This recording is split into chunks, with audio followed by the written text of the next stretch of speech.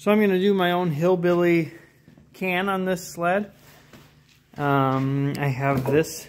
It's like a $30, $40 muffler off of Amazon, stainless steel. And it actually will fit right in here, it looks like. So normally there's a coupling here, but it looks like somebody at some point welded it, and I promise it wasn't me.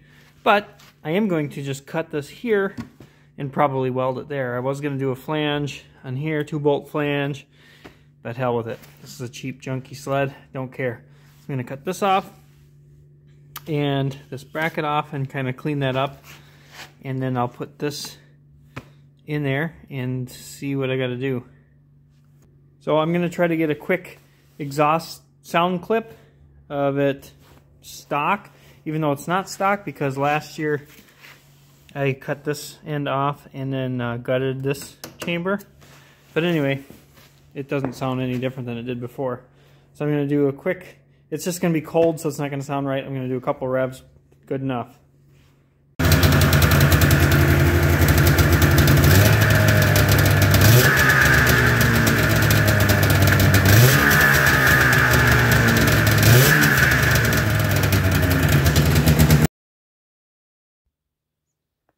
So I got this outside, I sawzalled off the muffler.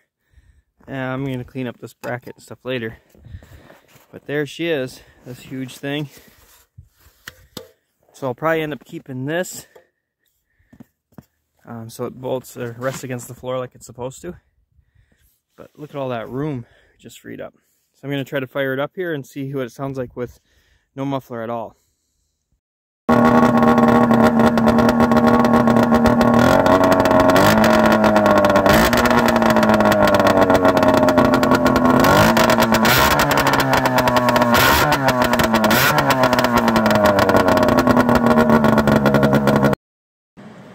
Okay, I got it in place, kinda. It's not done, so don't mind the crudeness.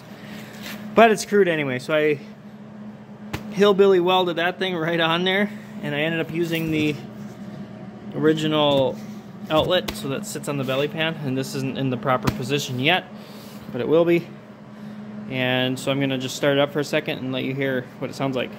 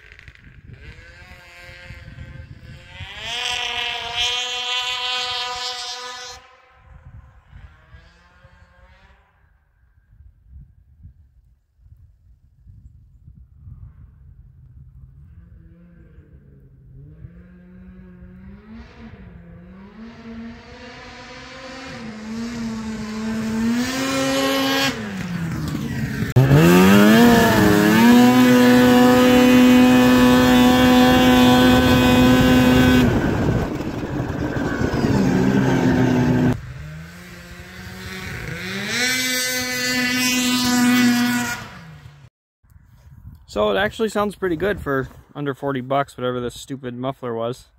And, uh, I mean, it's not great, but it's not too bad. All I ended up doing is just welding it there. I painted it, ground off that most of the bracket. I didn't want to get into it too deep because this is really thin pipe.